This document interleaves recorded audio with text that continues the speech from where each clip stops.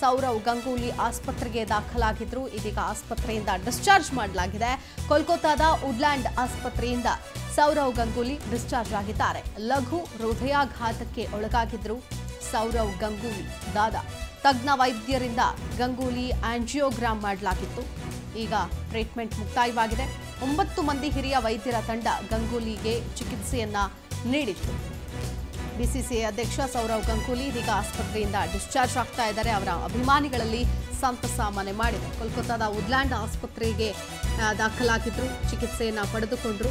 ಲಘು ಹೃದಯಾಘಾತಕ್ಕೆ ಒಳಗಾಗಿದ್ರು ಸೌರವ್ ಗಂಗೂಲಿ. ಸೊ ಹಾಗಾಗಿ ಚಿಕಿತ್ಸೆಯನ್ನ ಕೊಡಲಾಯಿತು ಅವರಿಗೆ. ತಜ್ಞ ವೈದ್ಯರು ಗಂಗೂಲಿ ಅವರಿಗೆ ಚಿಕಿತ್ಸೆಯನ್ನ ಕೊಟ್ಟಿದ್ರು. ಒಟ್ಟು ಒಂಬತ್ತು ಜನರ ತಂಡ, ವೈದ್ಯರ ತಂಡ ಅವರಿಗೆ ಚಿಕಿತ್ಸೆಯನ್ನ ಕೊಟ್ಟಿದೆ. ಇದೀಗ ಹುಷಾರಾಗಿ, ಗುಣಮುಖರಾಗಿ ಆಸ್ಪತ್ರೆಯಿಂದ ಇವತ್ತು ಡಿಸ್ಚಾರ್ಜ್ ಆಗ್ತಾ ಇದ್ದಾರೆ ಸೌರವ್ ಗಂಗೂಲಿ.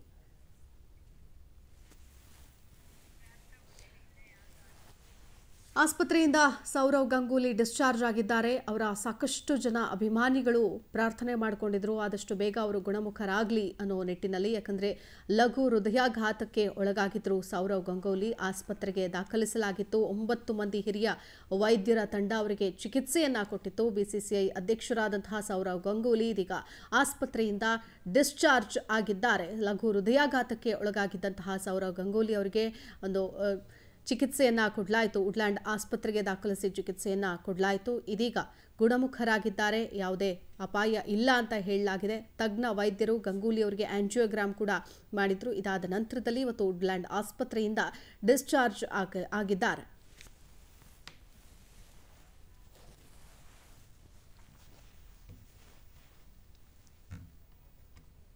জন্য অনেক ধন্যবাদ আর স্পেশালি উডল্যান্ডস হসপিটালকে এত ভালো চিকিৎসা করার জন্য আমার তরফ থেকে বিগ থ্যাংক ইউ সবাইকে ডক্টর সরোজ মণ্ডল থেকে শুরু করে Saptarshi, doctor Panda Rupali ma'am, nurses doctor Aftab Khan Khan যিনি আমাদের সাথে আজকে নেই, ডক্টর দেবী শেঠি, আমাকে এত যত্ন করার জন্য অনেক অনেক ধন্যবাদ you know we say that we come to hospitals to get life back.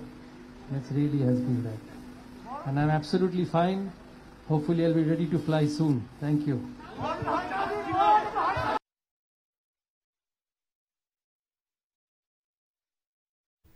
ಇದು ಸೌರವ್ ಗಂಗೂಲಿ ಅವರ ಮಾತು, ಈ ಮಾತುಗಳನ್ನು ಕೇಳಿ ಅವರ ಎಷ್ಟೋ ಜನ ಅಭಿಮಾನಿಗಳು ನೆಟ್ಟಿಸಿರು ಬಿಟ್ಟಿದ್ದಾರೆ.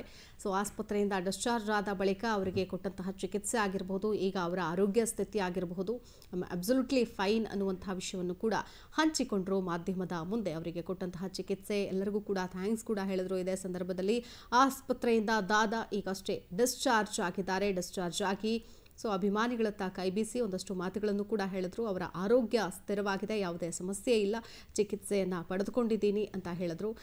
ವೈದ್ಯರಿಗೂ ಕೂಡ ಅವರು ಕೃತಜ್ಞತೆಯನ್ನು ಅರ್ಪಿಸಿದ್ರು ಇದೇ ಸಂದರ್ಭದಲ್ಲಿ.